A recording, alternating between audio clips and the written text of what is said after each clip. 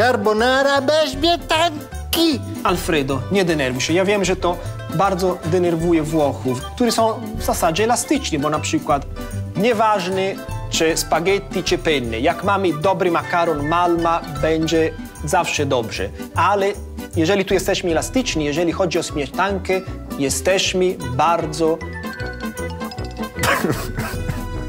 Korpulent. Zdecydowanie. Może Nie. tak. Nietolerancyjny. Nietolerancyjny. śmietanka do carbonary nie. Bo tylko wrogowie naszej kuchni dodają śmietanę do carbonary, po to, żeby mówić, że nasza kuchnia jest tłusta. A Jeżeli on... my nie dodajemy. My nie dodajemy. Jeżeli ktoś wam powie, że to jest potrzebne, żeby mieć kremową konsystencję, to nie słuchajcie. Oni, oni są fałszywymi doradcami. Oni trafiają do ósmego jaru piekła.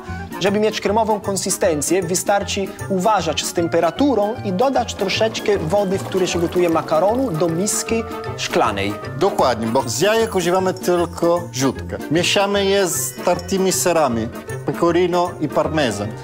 I dokończymy gotowanie, mieszanie tego dania razem z boczkiem zmażone na patelni. Dokończymy wszystko w szklanej misce, żeby temperatura była niższa, żeby właśnie jajko nie zaczęło się gotować, żeby się zaczęło się ścinać. Nie chcemy jajecznicy, chcemy kremowy sos, carbonara. Spróbujcie i zobaczycie. Zresztą carbonara nie musi być biała. Carbonara jest żółta. Żółta. Czarny pieprz, pasuje do żółtego, nie do białego. jak pszczółka. I zjedzcie to bardzo szybciutko, bo inaczej robi się niedobre. Natychmiast. Do widzenia. Arrivederci.